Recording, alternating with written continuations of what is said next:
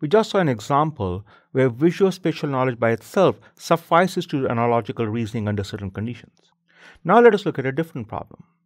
There certainly are situations where we might want AI agents to be able to extract propositional representations. Your projects 1, 2, and 3 did exactly that. One task where an AI agent might want to build propositional representations out of visual spatial knowledge is when an AI agent is given a design drawing. So here is a vector graphics drawing of a simple engineering system. Perhaps some of you can recognize what is happening here. This is the cylinder and this is the piston. This is the rod of the piston. The piston moves left and right. The other end of the rod is connected to a crankshaft. As this piston moves left and right, this particular crankshaft starts moving anti-clockwise. This device translates linear motion into rotational motion. I just gave you a causal account. Although causality was only implicit in this visual spatial knowledge, you and I were able to extract a causal account out of this. How did we do it? How can we help AI agents do it? At present, if you were to make a CAD drawing using any CAD tool that you want, the machine does not understand the drawing. But can machines of tomorrow understand drawings by automatically building these causal models out of them? Put another way, there is a story that is being captured in this particular diagram. Can a machine automatically extract that story from this diagram? In 2007, Patrick Yaner built an AI program called Archytas.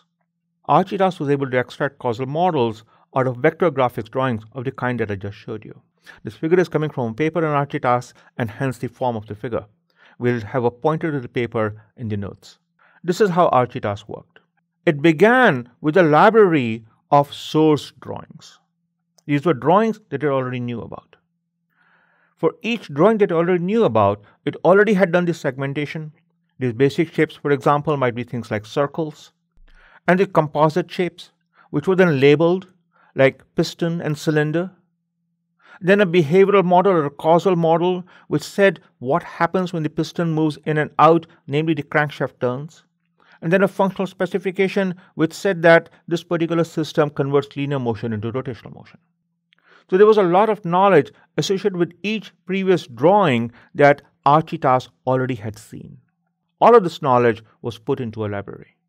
When a new drawing was input into Archytas, then it generated line segments and arcs and intersections from it.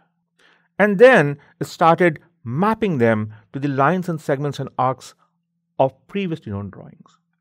Retrieved the drawing that was the closest matching drawing to the new drawing, and then started transferring basic shapes and then composite shapes, and it transferred each element through this abstraction hierarchy all the way up to the functional level. As an example, if Archytas library contained piston and crankshaft drawings like this, along with causal functional models for them, then given a new drawing of a piston and crankshaft device, Archytas would then be able to assemble a causal functional model for the new drawing. Thus, Archytas extracted causal information from visual spatial representations through analogical reasoning.